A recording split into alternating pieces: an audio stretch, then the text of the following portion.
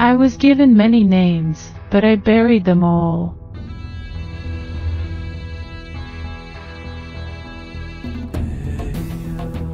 From now on, they are all weak to describe me.